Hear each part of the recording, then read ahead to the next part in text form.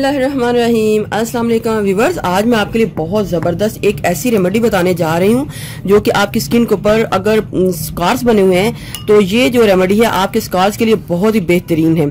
इसको यूज़ करने से आपकी स्किन के ऊपर से जितने भी स्कार्स हैं, वो रिमूव हो जाएँगे, बहुत ही कम पड़ जाएँगे।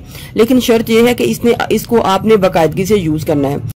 के चेहरे के ऊपर से स्कार्स को खत्म करेगा, इसके अंदर विटामिन सी है तो विटामिन और विटामिन सी जो है आपकी स्किन को लाइट करेगा। ब्लैक स्पॉट का आत्मा करेगा, आपकी स्किन के ऊपर जुड़ियाँ उनका आत्मा करेगा। आपकी स्किन को सॉफ्ट और स्मूथ भी रखेगा। बहुत ज़बरदस्त है। आज का नुस्खा आप इसको बनाकर ज़रूर यूज़ आपने सबसे पहले लेना है मेथी दाना। व्यूवर्स मेथी दाना जो है ना स्कार्स के ऊपर लगाने से स्कार्स बहुत ही जल्दी ठीक हो जाते हैं।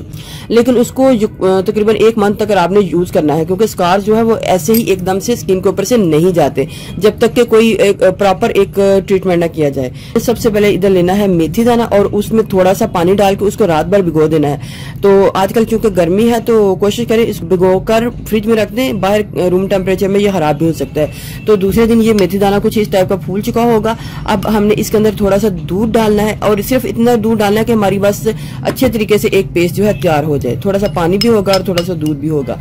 अब हमने इसको एक पेस्ट की कंसिस्टेंसी में ले आना है।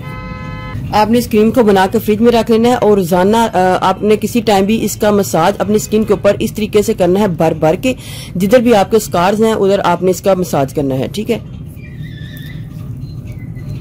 इसमें अपनी एक लचक भी होती है जो कि आपकी स्किन को बहुत ही सॉफ्ट और स्मूथ रखेगी और साथ साथ अगर आपकी स्किन के ऊपर झुरियाँ हैं तो उनका भी हाथमा करेगी। ये बहुत ज़बरदस्त किस्म की क्रीम है, आप इसको बनाकर ज़रूर यूज़ कीजिएगा, आपको इसके बहुत अच्छे रिज़ल्ट मिलेंगे। ये आपकी स्किन के ऊपर बहुत पॉजिटिव काम करेगी। आप इसके अंदर लेमन के कुछ ड्रॉप्स भी डाल सकते हैं और एज मास्क बनाने के लिए आप इसके अंदर बेसन को भी ऐड कर सकते हैं, चावल का आटा डाटा, जो का आटा कुछ भी आप और चीज़ इसमें ऐड करके एज मास्क भी अपनी चेहरे के ऊपर अप्लाई कर सकते हैं। लेकिन मैंने इसको मसाज किया है तो आपने जिस तरीके से मैंने अभी आपको बताया है, आपने भी इसका इसी तरीके से इस्तेमाल करते हुए एक माह तक या पंद्रह दिन तक आपने लाजमी इस्तेमाल तीन से चार मिनट मसाज करने बाद आपने अपने हाथों को या चेहरे को नॉर्मल पानी से धो